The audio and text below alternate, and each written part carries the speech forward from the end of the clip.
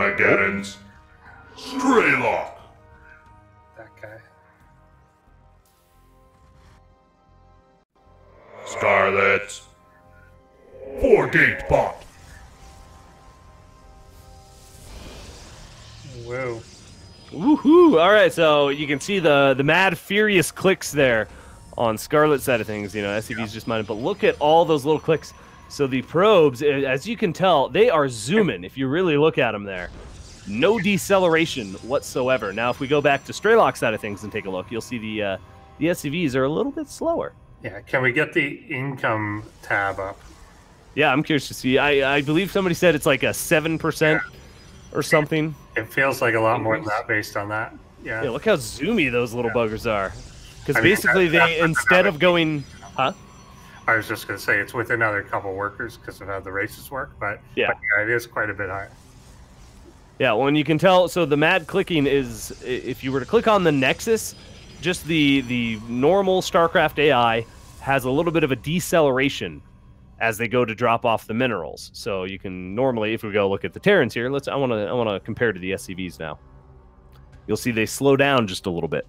Maybe no. Okay, we're not going to. Um. Anyway, uh, yeah, it's just a nice little boost. Uh, makes the four gate, which really relies on hitting as early as possible uh, effective. So yeah, you can see as they get close to the the command center, they kind of slow down just very briefly. Just shoop, They glide into shoop. that. Yeah, they glide into it.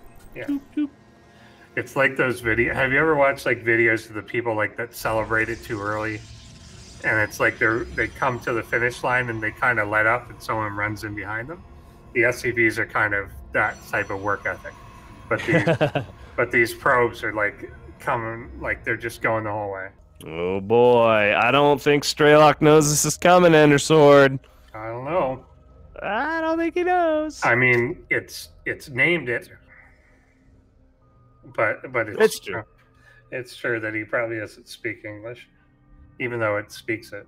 It doesn't understand it. You can sp- I I can speak Spanish. Doesn't mean I know what I'm saying. That is true.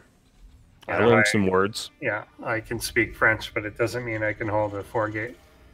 If we can get some cyclones or something out, uh, it might give him a chance. But with two Stargates on the way instead, I think Straylock might just die to this. It is currently 18 army supply to one, Indeed.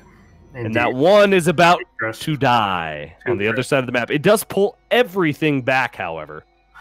Oh, that's interesting. Yeah, it's going the wrong way. Whoa! This is definitely cutting into the, some of the crispness.